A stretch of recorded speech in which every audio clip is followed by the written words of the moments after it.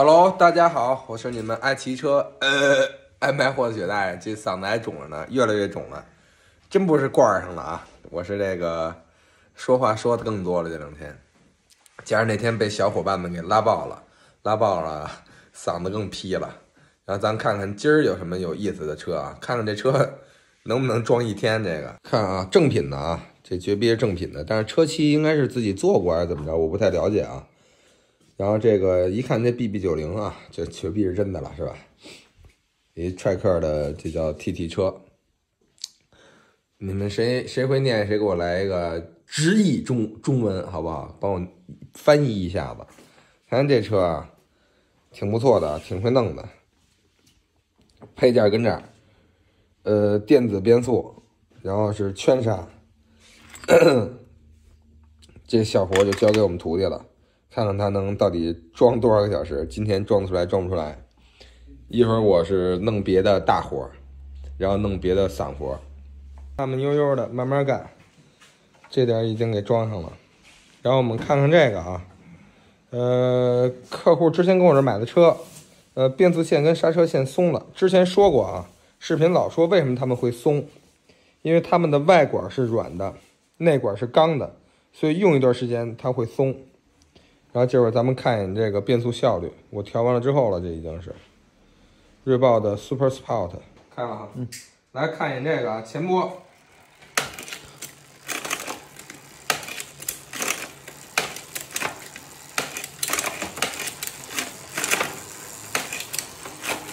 咱们看看后面啊，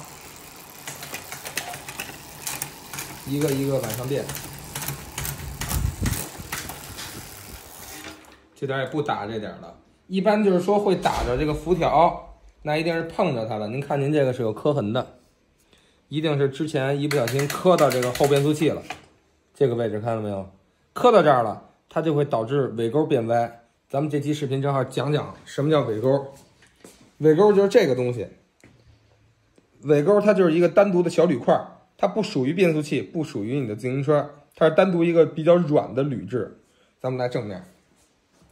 如果说这个东西啊，咱们现在铝的，你这个东西受到了冲击，你这个东西受到冲击，那这个尾钩是把你这个劲儿给吃掉，就把把劲儿给吃了，尾钩就变形变弯了，所以你的变速会不准。然后有的人说，为什么那么刺啊？为什么那么弱呀？为什么那么刺啊？它为什么要那么软啊？因为如果说这个东西是硬的，那你摔狠了，那你变速器坏了，车架子碎了，对吧？所以它一定要找一个东西把这力给承接住。就用这个尾钩，尾钩弯了是可以掰回来的，掰不回来的话是可以更换尾钩的，几十块钱。所以说尾钩是一个保护机制。然后咱们看看哪儿啊？然后刹车，然后刚才已经调好了，然后这台车完事儿，准备发回货拉拉。刚才处理了一台 Super Sport，然后这会儿再装一台 Super Sport。一会儿咱装一台，看看我这边呃卖给客户新车装新车都是怎么搞的。这边又刚才又来了好多小活，这车还停滞不前呢，尽量今儿给它干出来吧。因为这个车边弄还得边洗边擦，有很多东西已经，唉，脏的不成样了，没法往上装了。我们要凑合装是能装上去，但是太脏了，装上去这活不像样啊，是不是？我们还得慢慢收拾打理一下。然后这点儿我们技师说贴点犀牛皮吧，刚喷的漆，别一拐弯。卡掉漆什么的啊，这已经拆完了，一会儿要怎么处理呢？一会儿我会把这个线，呃，换成就是我这边好用点的内芯儿。然后因为这个，您看啊，就是有时候它会稍微长了点，稍微长点，稍微短点会理理线。然后前波我也会处理到，给它调到我认为的巅峰状态，就是变速效率。所以会重新装这些东西。就是我这卖车是这样，别的车店我管不着啊。然后呢，这些东西都会拆掉，重新装，因为我发现就是有很多时候里面是运输过程中啊，颠来颠去，里面都会松，所以必须得自己重新装一遍。然后这边是这个奥利尼的刹车，咸拉油碟非常不错。然后锐豹这个非常细心啊，它是速联前波，它专门有速联原装的这个叫做什么防掉链器啊，来了啊，内侧简单贴了一小膜，有点气泡啊，别挑我们理。我要贴不贴的，反正也不知道是不是，反正我们觉着该贴就贴一下子。来，接着看这边，把刹车拆完了，线也剪了这点，一会儿开始理线，看前面多乱啊！因为这个原厂出来的车，它线都比较长，这不是比较长了是吧？一会儿我都会理一理，该截截，该剪剪。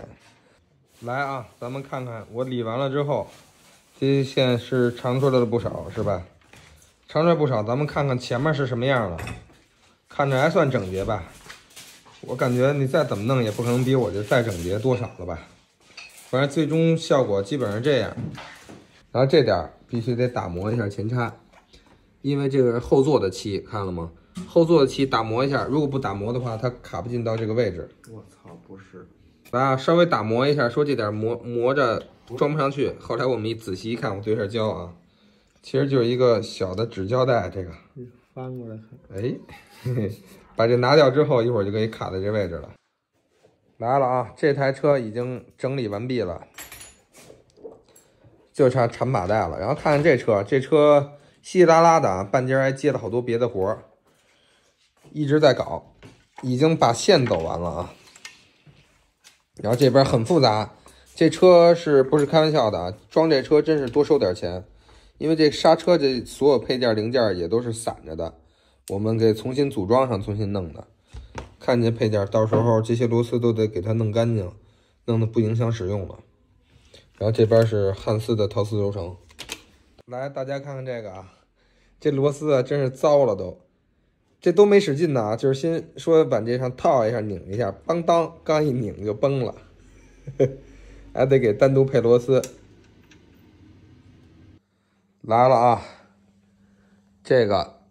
呃，及时先吃口晚饭，已经到晚上，稀拉拉忙一天，这车刚装到这儿，呃，配了很多螺螺丝，重新配的，然后已经装的差不多了，一会儿搞刹车，就快完活了吧，可以说是，稀稀拉拉的，慢慢来啊，看看整这个是什么，划痕啊，划痕，咱们来这个神水擦一擦它，看这手速。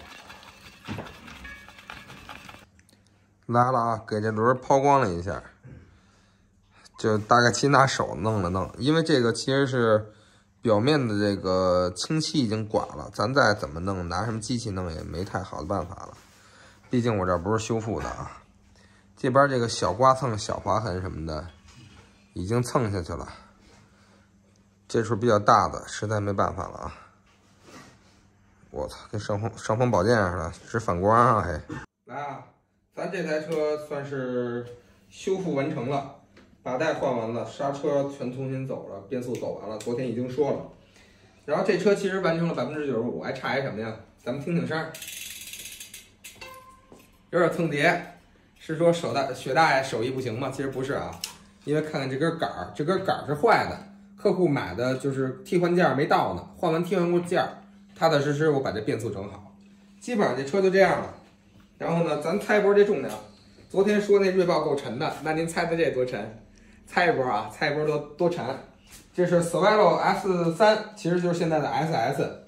然后基本上原配的配件吧，然后用的 UT 机械，宝来万的轮毂。大家猜一波它它能有多沉啊？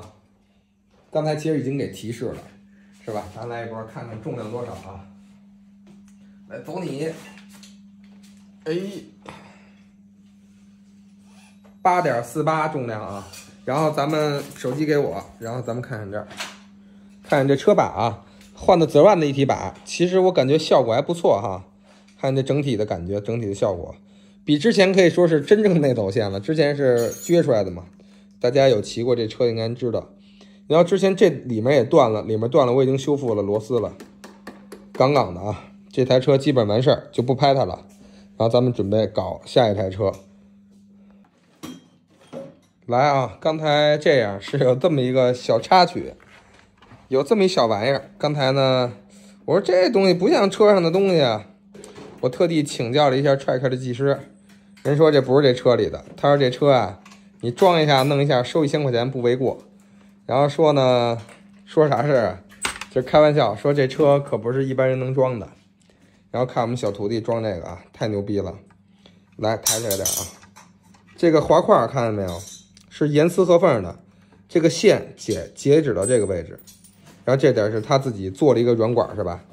是你做的吗？这个这白色是他自己做的软管，为了提升手感，这东西必须得绞的严丝合缝，然后手上那点也必须严丝合缝的长短，然后才能正好卡到这个位置，卡到这个块儿上，来来扣上，然后这点底下加上线之后，你手上捏，听这声，听这声就牛逼吧？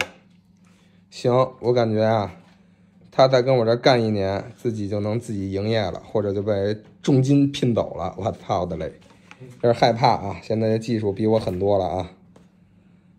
来了啊，咱看看这个 Propel 破瓢，这是之前给客户改装的方案，这是内走线，这有点磕碜了啊。呃，把这里面稍微稍作打磨，看到吗？打磨之后，让这里面走四根线，它就能实现比较比较好看吧，就是这种感觉。一会儿再把变速调好，然后这盘片啊前后都漂漂的厉害了，然后建议客户是直接更换了。我已经掰了很多下了啊，掰实在是掰不回来了，无力回天了，兄弟们，看到吗？来啊，一会儿又得上锯子了，为什么呀？看它这颗原装螺丝锈的不行了，拧这个扣里啊根本就拧不进去了，所以又得拿我这螺丝，完全一样大小没有，只能又得开锯，再给它改装螺丝。它这台车这什么发力角度啊？一会儿还得修修那边儿，修修那头儿，是不是？再来啊！黑暗恶势力两兄弟，一踹克一闪电。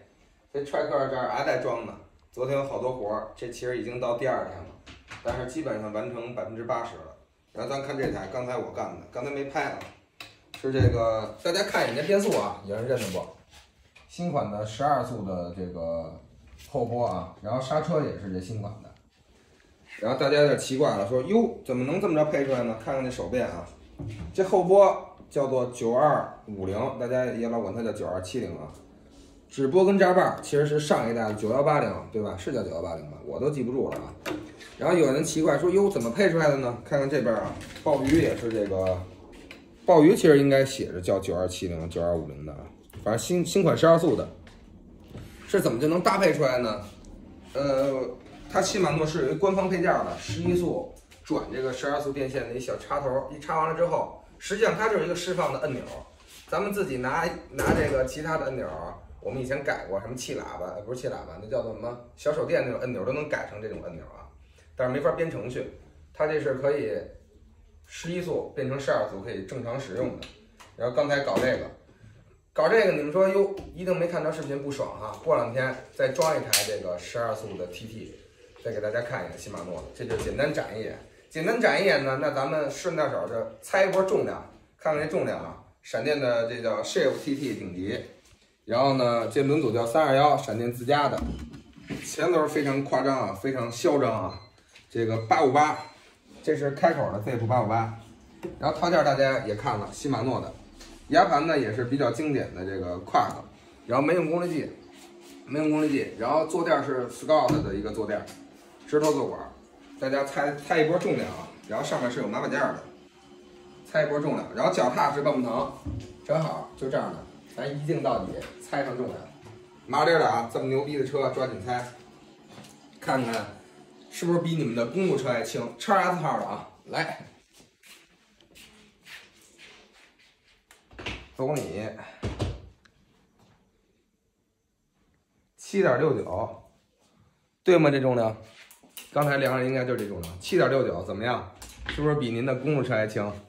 然后咱这台车就到这儿了啊，一会儿继续干别的活儿，这都小活儿，都不惜的多拍一会儿，然后好多其他大活儿呢。哦，来啊，又来一台 TT 车，做个快洗，老板亲自快洗。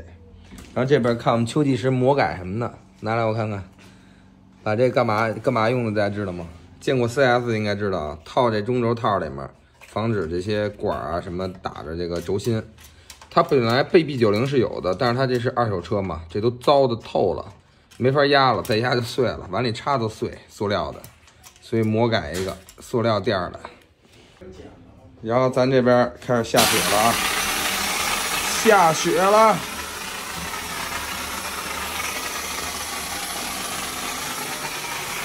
来啊，喷完泡沫，让它自然把这个泥沙什么带下去，然后顺这功夫洗链条，帕克兔大师盒子加上雪带清洗剂，看看刚才甩下来的油有多脏，看看这是不是已经干净一圈了，再稍微洗洗啊，直接稍微撸撸就干净了。来啊，看到刚才一定。有兄弟们来杠来了啊！你别不是说别洗水洗车吗？是吧？你不是说别拿水冲车吗？我一直就说，我现在也说别拿水冲车。来我这儿，你来我这儿冲，我也不是让你三天两头来冲，实在太脏了，受不了了，洗一次，然后我会拿气儿枪把你这缝隙里面水吹出去。但是呢，它再怎么弄，它也不可能完完全全弄干净，水真是无孔不入的。所以尽量少洗车，少冲车，像我这快洗您也少来，啊，然后这声太大了，我就不吹你们了，好吧？来了啊，今儿又弄一什么呀？又是九二七零，看看这腿儿挺牛逼的啊，德国的萨姆腿儿功率计，配九二五零的盘片。你看啊，其实叫九二五零啊，你看人家这个后玻上就写着九二五零。它这个叫做什么？写九二七零，最近老都是十二速了啊，兄弟们，抓紧攒钱吧！十二速，装什么车上？装这台车上，然后用的什么轮啊？用的劲腾这个碳条顶级六零，大家可以这会儿先估摸着估摸着重量，然后这还是没工夫装，有空先装着点，然后干点其他活，客户还少点其他东西，反正这两天是够忙够乱的。一点一点装，有点什么意思？我给大家拍进来。来了啊，咱这皮纳装的差不多了，就差这个塔基的小配件就可以调变速、调飞轮了。这会儿先把这个九二七零配件给连上一下它手变。现在连手变呢，不用，必须现在是必须得用 iPhone 手机，然后下载平呃叫什么西马诺软件，然后才能连接这个手变。然后大家把镜头往这儿看一眼啊。不知道能不能对上焦，这是有码的啊，是有码的，有码的，一会儿用这个手机就能扫到它的码，就可以给它配对。你看，现在是后变速器、前变速器电池，它它检验出来了。我们点一下电，点点一下确定，然后这边扫二二维码，看看它能不能一下扫到。来，你照着我这手机就行。哎，我点一下对焦啊，手机震动，配对完成。然后我再添加这只手，就是扫上的时候，它手机会震动一下。刚才这个叮叮咣啷，反正配对配对了半个小时啊，才配上。配对完毕之后就成功了，咱们就可以在手机上调整你的变速，定制你的变速方式，然后更新系统各种方方式。哎，保养保养这我都没仔细看过啊，可以看你的电池状态，各种东西。然后最专业的还是就是连接电脑这个盒子，更新这咱就先不点了，怕出现什么问题嘛。因为刚出来的东西，挺有意思的哈。现在这手机很方便了。然后咱们现在点断开连接，来啊，这已经是第二天晚上了，然后稀稀拉拉又忙一整天。后面这台车终于完事儿了。其实白天我还发现一件事，不知道你们视频之前看没看见这个这个小玩意儿。这小拉锁，这新衣服这拉锁之前那白的没撕，今儿遛弯的时候才发现。哎呦我操！我说看看视频里面眼尖发现了。然后咱们看看这台踹客啊，给大家介绍一下这台车有多难装，有多费劲。然后一会儿现在猜一波重量，好吧？猜一波重量。来，从这儿划过，看到这台车也是劲腾轮组啊。最近劲腾轮组真是大卖，F 十二都已经配上劲腾了。看这台车啊。我现在先细数一下这台车，我们配了多少东西，重新改了多少东西，就是这些胶皮件就不用说了，都没有。然后这点我特意改了一个，非常完美了啊。然后尾钩掰也是掰不正了，建议他是找官方订一个新的尾钩。然后基本上您能看到的螺丝，我们基本上都换新的了。然后这边有一块裂，看到了吗？不是我装裂的啊！我问客户了，客户说做涂装之前他就自己粘了一下，然后这个东西就裂的。然后做完涂装回来之后，看这儿裂痕，然后重新装完之后一转弯就折了。这点这个盖儿也建议他去官方重新配一个，是有问题的这个东西。然后这这上面的各种所有螺丝都是重新配过的，视频已经发过了，真的是很费劲。然后看看刹车手感，听听这声啊，这是踹克家自己的这个刹车做的挺有意思，整合挺好，但是真的很难调。但是听这声音很有力度了。很牛逼了，听听后刹车，同时推圈的声音啊，非常生猛。球体是 YYDS，然后走线前面控制器放在这个位置，然后这样的话就是冲前嘛，也是阻挡一个风阻，没有很多乱线，看起来整体是比较美观、比较好看的。然后把带，客户也是需要缠把带，现在很流行不缠把带是吧？然后把带缠的刚刚齐，整合适。整体小车说真的非常好看。哎，是不是踹克官方有一个叫做“日日出东方”？然后整体车就是这个配置，大家可以猜一波重量啊。因为我对这车没概念，全程是我们技师装的。然后整体我也没拎过这车，我胡说八道一波。这个车九点八，你们猜呢？哎，小轮你看看多润。来回跟这儿荡秋千是吧？然后坐管它是铝的啊，我们发现坐管是铝的，然后坐垫也是一个比较入门的，估摸以后后期会升级吧。这点粘上的脏油啊，可不是我给弄坏的，花了大价钱做的车漆，车漆做的真的很漂亮，就这个渐变色，大家看看，有点小脏，这都是粘的脏东西，到时候我们会擦干净的。真的啊，就是实物可以说是美轮美轮美奂啊。